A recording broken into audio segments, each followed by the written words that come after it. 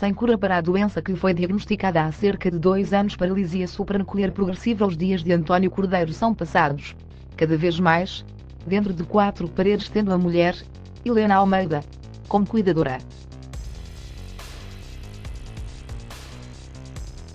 O seu estado de saúde tem sido marcado por altos e baixos, mas não evoluiu substancialmente, embora existam alturas em que ele esteja pior, conforme explicou à revista TV 7 Dias a mulher do ator.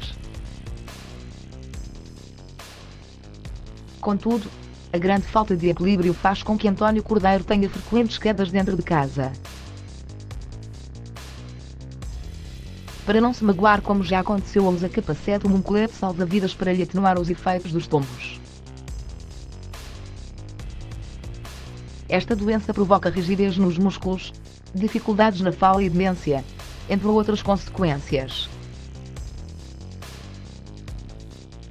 Sem trabalho, o ator, de 60 anos, e a mulher vivem das poupanças e da generosidade de algumas pessoas e instituições.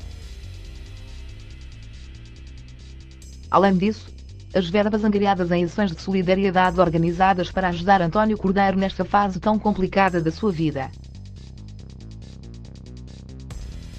Helena é o grande apoio de António mas está a chegar ao limite. Perguntam-me como é que ele está, mas ninguém é capaz de me perguntar como é que eu me aguento.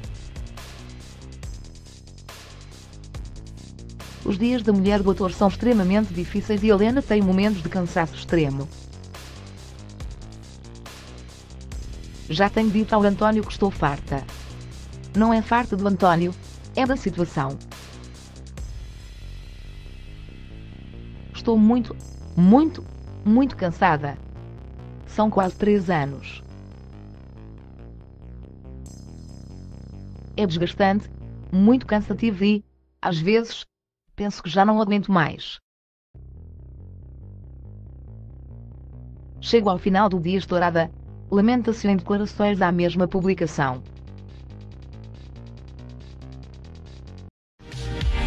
Your friends will see